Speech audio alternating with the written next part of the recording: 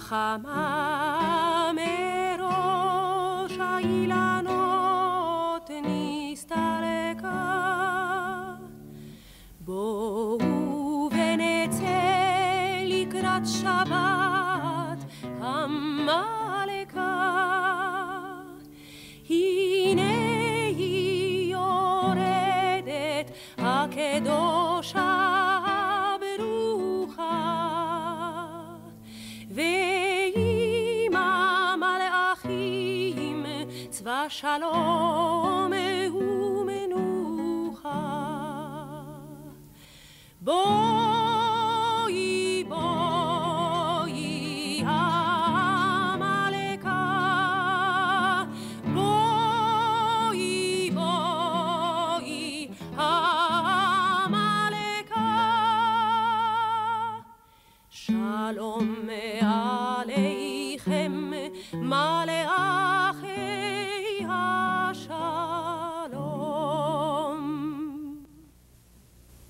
Since its founding, 85 years ago by my extraordinary relative, Henrietta Szold. Four generations of women in my family have been members of Hadassah, among them a national president of Hadassah, my mother, Zip Folk Szold. My name is Betty Szold Cranus. I am honored to introduce to you the first in a series of programs conceived at one of the oldest chapters in the United States, Berkshire Hills Hadassah, created in North Adams, Massachusetts in 1916, based today in Pittsfield. Through its medical and humanitarian activities in particular, it is likely to touch men, women, and children of every race in almost every country around the world.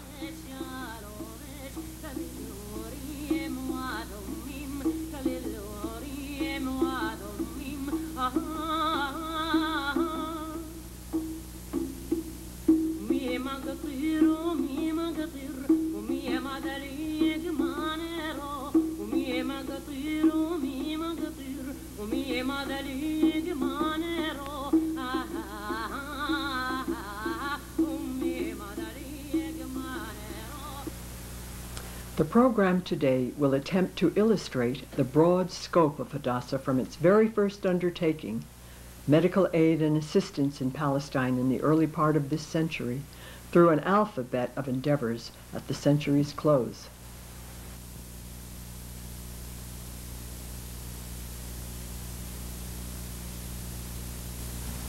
But first we'll meet the Queen.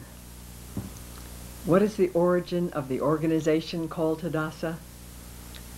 To begin with, Hadassah is the Hebrew name for Queen Esther, a beloved heroine of Jewish history. The story of Esther is recounted at the annual springtime festival of pageantry and sharing, Purim. The story relates how Esther's goodness and wisdom saved the Jews of Persia from an evil fate. Among its cast of characters, young girls choose to dress up as Queen Esther, the beautiful commoner chosen by the king of Persia to be his queen. Boys often like to disguise themselves as the villain, Haman.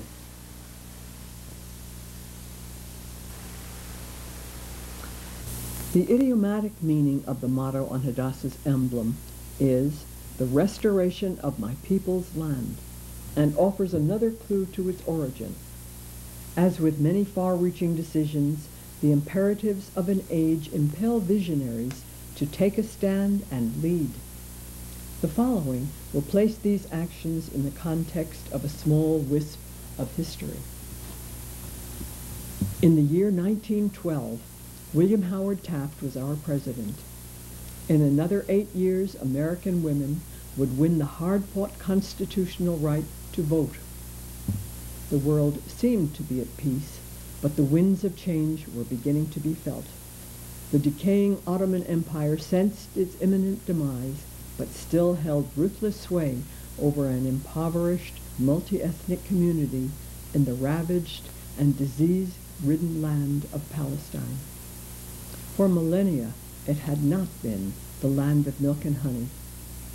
Mostly indifferent and absentee landlords were content to leave it to abandon until it was settled by highly motivated pioneers willing to drain and clear pestilent swamps, irrigate the precious arid earth, and establish an agricultural base. It was a sadly neglected land.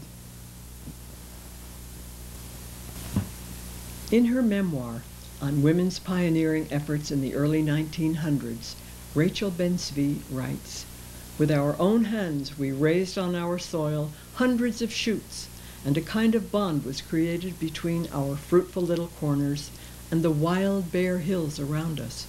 We were participating in the great task of reforesting the country. Among the afflictions rife among the nomads, peasants, and poor religious population of Palestine were dysentery, typhoid, starvation and trachoma, an untreated eye infection leading to blindness. On a trip to Palestine in 1909, Henrietta Szold, a vigorous and 49-year-old American scholar and Zionist, saw the poverty and dearth of medical care available to most inhabitants of Palestine. She was particularly struck by the large number of blind people and heartsore to see children among them. Trachoma was rampant. It was high time to act.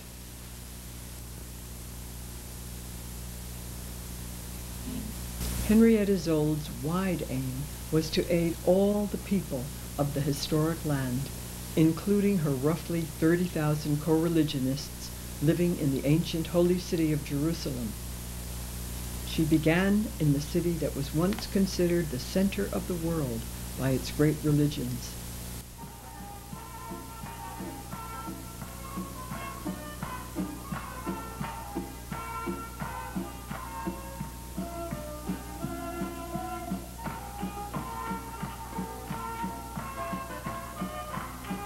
Nineteen ninety six saw a rejuvenated Jerusalem celebrate its 3,000th birthday with much fanfare and rejoicing.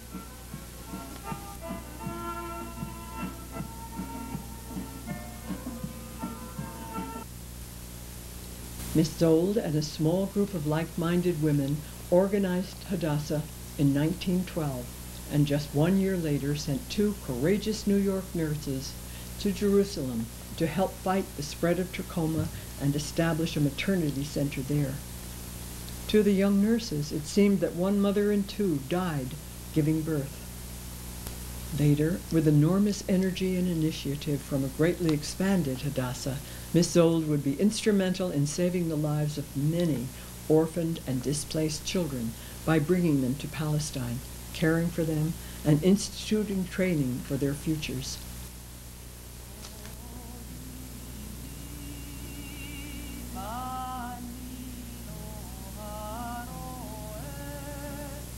that.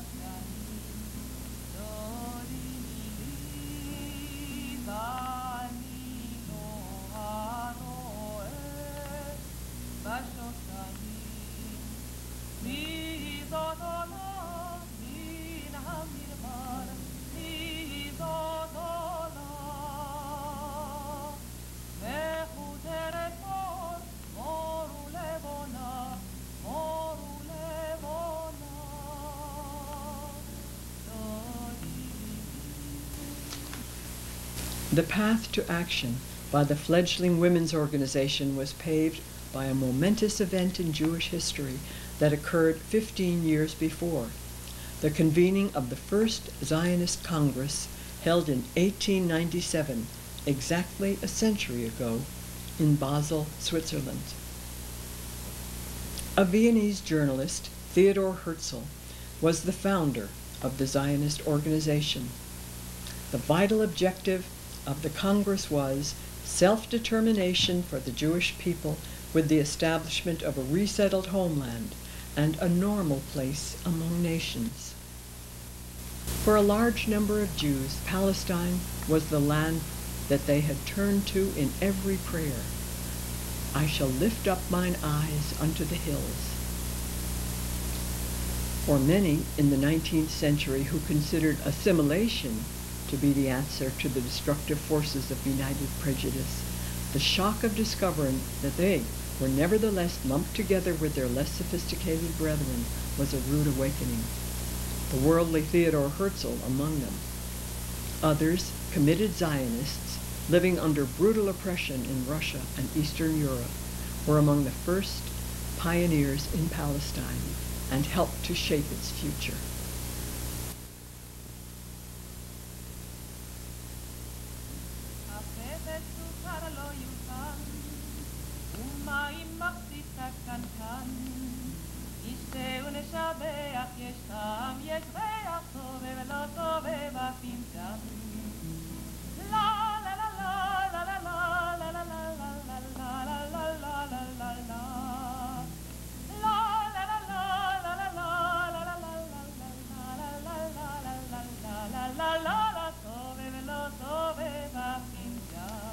Let's go back a bit. The first organized Jewish settlement in Palestine was established in 1882, and a large tract of land was bought from the Turks two years later. The Jewish National Fund was established in 1901 to purchase land. Indeed, most American Jews remember as children filling the little blue tin boxes on their kitchen shelves with coins to purchase land in Palestine. In 1939, there were about 400,000 Jews living in Palestine, and the Arab population had increased substantially from the estimated 150,000 that lived in the area a century before. Draining and cultivating the land brought in its wake employment and opportunity. Social, cultural, and health institutions were established to serve each according to his need, from each according to his ability.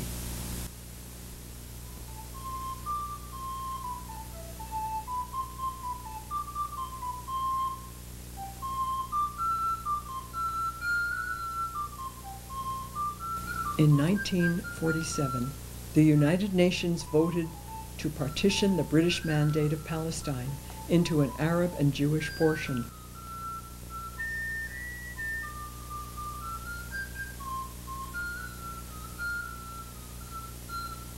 This was jubilantly accepted by Jews. And on May 14, 1948, David Ben Gurion became the first Prime Minister of Israel.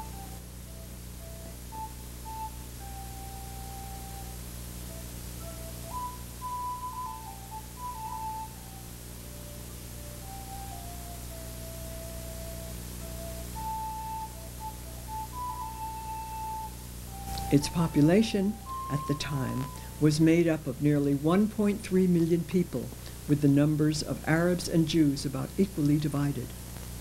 The population today is nearly 5 million and includes every nationality imaginable, and some we would be hard pressed to recognize.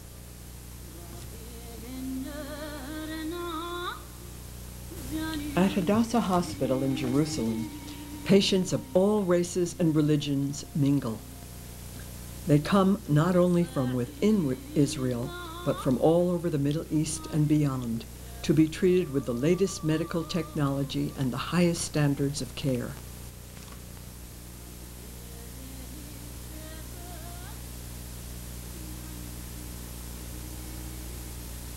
In 1984, Hadassah International was founded and has expanded to include 34 countries. Through the Hadassah Medical Organization, it facilitates exchanges among medical and scientific institutions for important training, treatment, and research, realizing the Talmudic injunction if we save one life, it is as if we have saved the world.